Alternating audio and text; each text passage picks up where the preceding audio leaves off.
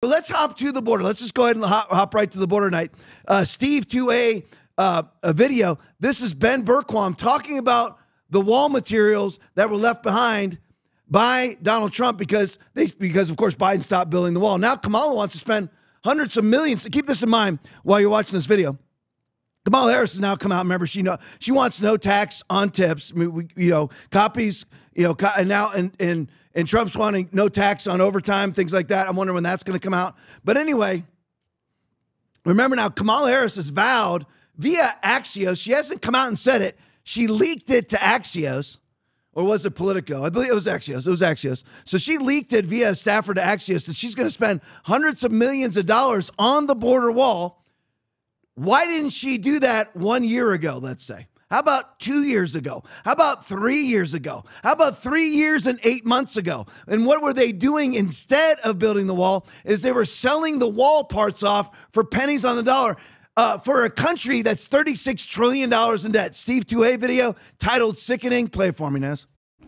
This is one of the few large border wall graveyards still left.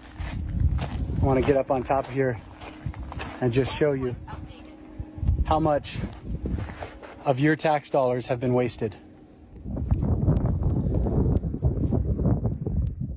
Hundreds of millions of your tax dollars wasted, rotting out in the sun because of Joe Biden and Kamala Harris. Everything they've told you about the border is a lie. For four years, they've allowed this to happen. Four years, they lied to you and told you that it was President Trump's fault. Four years, they allowed the wall that President Trump is putting up to rot out here in the desert. Everything they've told you is a lie. And this is the stuff they couldn't sell. Most of it they did at pennies on the dollar. There are massive yards like this all along our southern border. And they got rid of most of it so you wouldn't see it. This pile still happens to be out here, so you can. That's what Joe Biden and Kamala Harris think of our border security. And now, after four years of allowing our country to be invaded, Kamala Harris has the nerve to say she wants to build a border wall.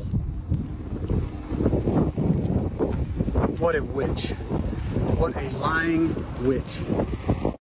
And again, just the Olympi- Olympian reaches of absurdity to where now you're saying that you want to build a border wall using hundreds of millions of dollars when you have sold off for pennies on the dollar billions of dollars worth of wall materials that were just sitting out there and all and by the way it was already funded so get this now not only do you lose all the billions that were set aside for the wall you lose all the billions for the materials themselves. You're like, well, Tom, aren't those one and the same? No, they're they're they're they're you know they're they're merged uh, together. They're they're connected together because you have the wall materials that were sold off for for for pennies on the dollar, but all the labor was already paid for too.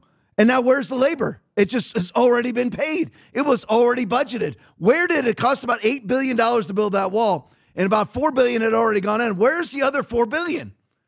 It's so absurd that people don't care about billions. Billions and billions and billions of dollars. Nobody cares about it at all. And I hope that I have time tonight. It's not looking great to get get to this some of the budgeting stuff. It's not it's not boring. It's actually really good because it's Tom it's Thomas Massie, But I don't get to it tonight. I'll get to it Monday.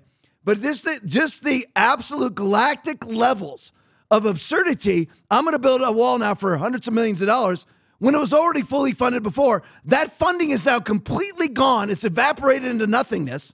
And they're selling off the parts, the wall parts, for pennies on the dollar. That's what they imagine this. Suddenly you care. They, they want to pass this border security bill, the border infiltration bill.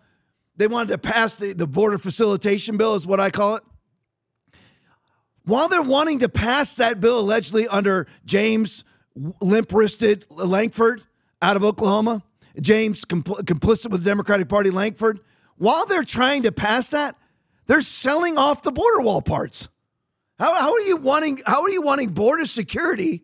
And of course, they never tried to pass that bill until 2024. So they can say that they're for border, so they can say they're for border security. But what it was, only thing it was going to do is basically like hiring 87,000 IRS agents to investigate middle class people. It was going to hire 40, 50,000 CBP agents to go and facilitate illegals across the border, not stop illegals from crossing the border. Facilitate them across, not stop them from crossing. That was the point of all of it.